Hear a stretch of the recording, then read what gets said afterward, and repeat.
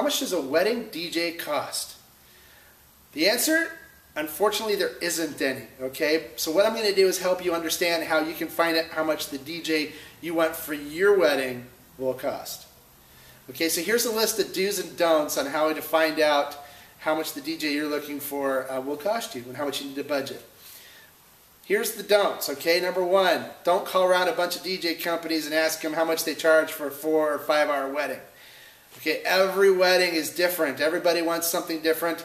They should, um, they deserve to have unique service. So instead, um, you want to do your research first before you find out pricing. So don't do that. Don't call around and ask how much for a four or five hour wedding. If you do, you're going to end up with a cookie cutter DJ who does a cookie cutter wedding at best. Okay, so if it doesn't turn out the way you want, the only person you have to blame is yourself.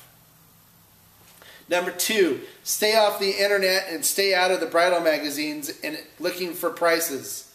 Okay, there's so much misinformation out there. The chance that you're going to get the wrong information is great by doing that.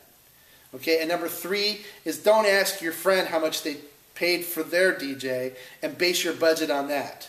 Okay, because it's probably been a few years, um, and unless you're going to hire that particular DJ, the prices will vary, and you may end up under budgeting for the DJ you want. Okay, so here's a list of do's, and the number one do and you can't get away from doing this, is do your research. Okay? So the first thing you want to do is you want to gather a list of DJ companies together to call. Okay? So to get this list, there's multiple ways of doing it. The primary way should be if you've hired any vendors yet, ask them if there's any DJs that they can recommend. Okay? Because your vendors, that's all they do is weddings. And they probably worked with many DJs, and they could probably tell you the good ones and the bad ones. And a lot of times, the good ones they'll ask for cards. So if you ask them, a lot of times they'll refer you to a good quality DJ. Add those DJs to your list. Start them off at the top of the list. Next, go to internet like Google and type in wedding DJ in the search area. Now, I would even make it more specific to your area. For example, if you're here in Orange County, type in Orange County Wedding DJ. And then you'll be provided with a list of thousands of DJs to choose from.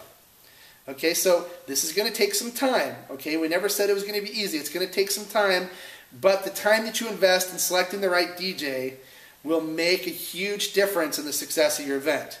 Because you're going to spend a lot of time planning this wedding, and you don't want to not spend the time hire the wrong DJ who's going to destroy everything that you spent months putting together. Okay? So click on the links and look at their website. If their website looks professional, if it has professional information in there, um, if it gives you information that you need to understand who they are, then put their name down and put their number down and give them a call. You know, if it if it looks cheesy, if it looks cheap, then chances are their service is the same way. Because if they're not going to put the time and energy in to do their website right, what makes you think they're going to put the time and the energy in to do your wedding right? Makes sense, doesn't it? So then after you gather a list of really solid looking, professional looking web, website DJ companies and you have your list of referrals from your vendors, make the phone call and call them.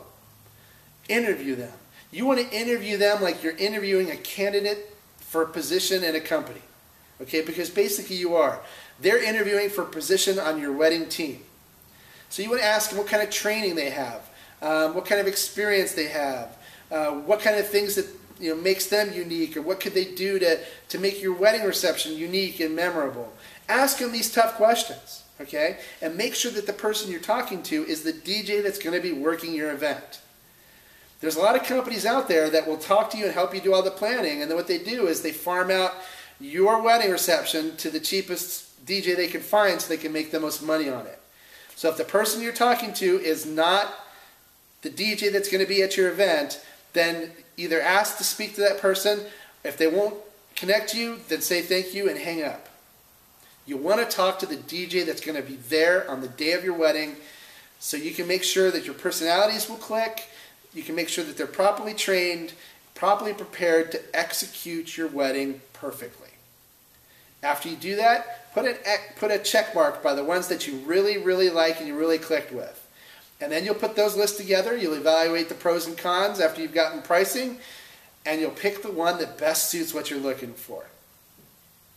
If you do this, you'll find a DJ that'll be great for your wedding. Everybody will have a great time. You'll be relaxed, and you'll have a phenomenal event. Okay, we hope this information is helpful. Um, for more detailed information on how to go through this process, please check out our blog listed below.